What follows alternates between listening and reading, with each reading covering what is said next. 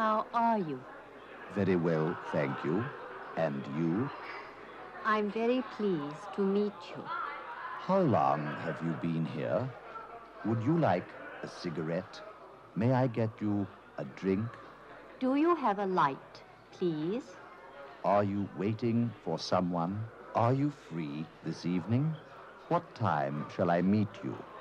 It was nice meeting you. May I take you home? Thank you. It's been a wonderful evening. What's your telephone number? Do you live alone? Good night.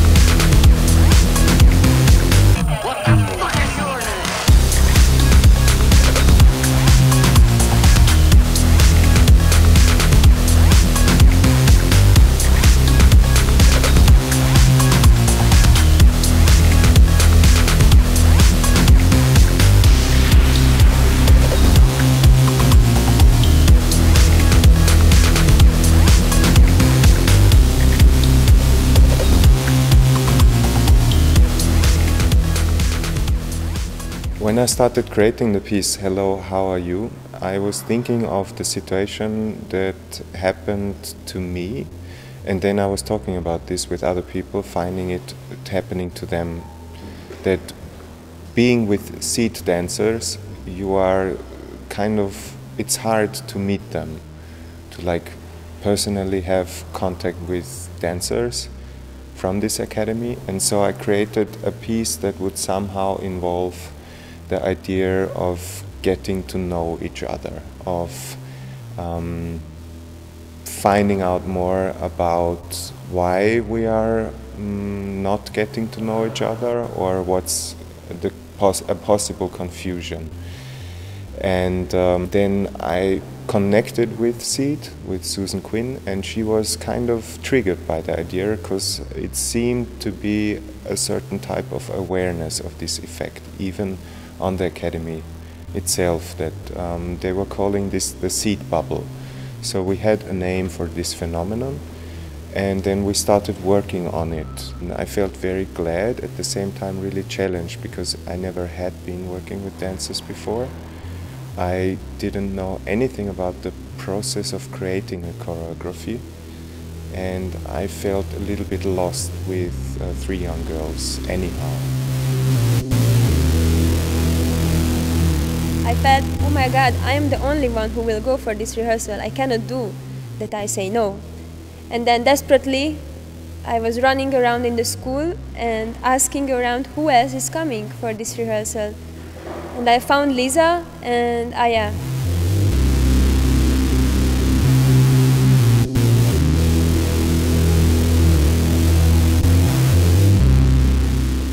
Yeah, it was a hard time to find out how we can work together we suggested to let's try to improvise and uh, he, he just gave us the task and we were trying out. So I think at the end he found something what he is really interested in.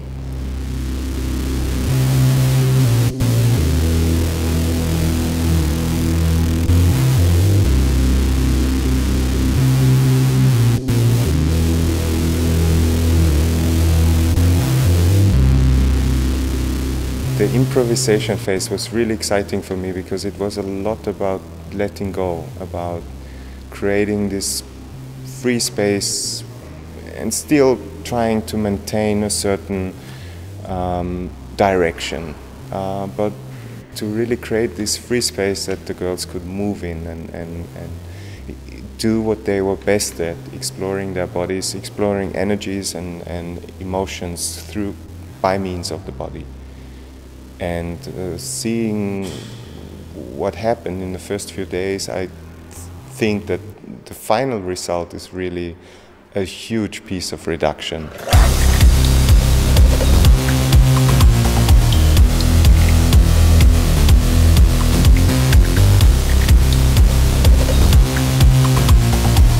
When we came to Schmiede, it was uh, really exciting to see how we could adapt a piece that was created in a totally super clean uh, antiseptic environment. Interesting to see how we, how the shift from this totally clean space to this industrial environment and, and the rough uh, machinery and, and all this like dirt and, and really rough situation would be, you know, how we would transform something that, that was created in a laboratory into the jungle.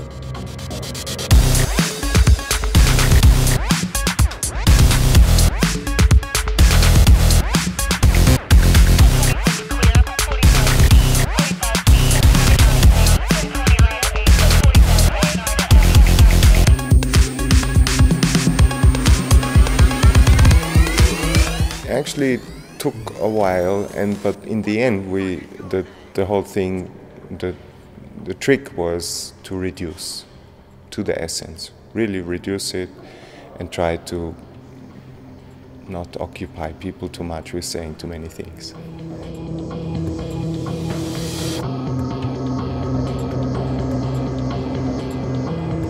I felt really insecure, and when Lisa and Nicole started commenting, I got actually really aggressive. And then we uh, rearranged the piece quite a bit. We uh, completely changed perspective in Judit's uh, solo.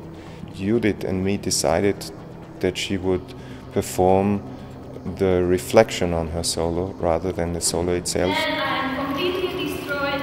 I don't know what to do, and I think I even put down a bit the t-shirt. So the girls throw me to the deep water before the performance day, and then I had to speak about my solo, which was a big challenge for me. The story, what I just said during the piece, it's not important anymore for me, so it was hard to find myself in it again, to get back, to go back to be 17 years old.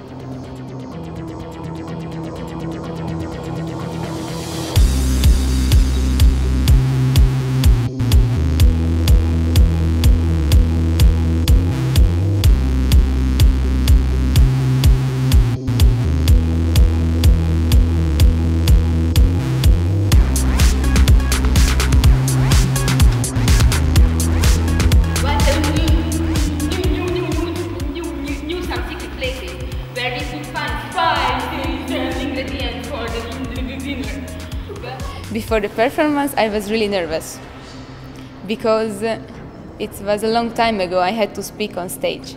But when I started to speak, I think I, I catch the audience because I had a feeling that they are following me. we had to clean up on mountains and we had bath in the river. And this. It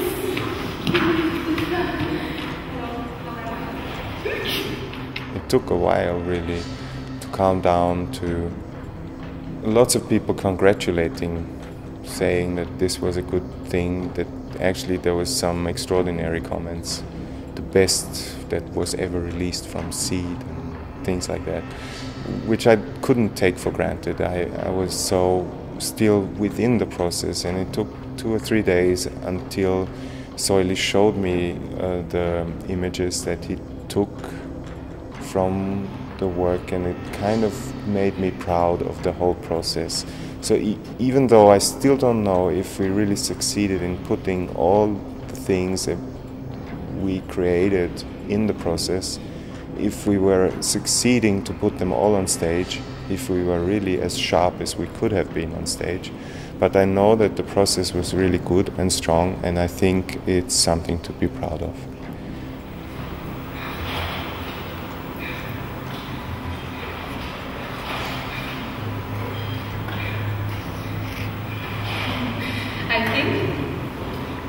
At the end we found the aim of this project.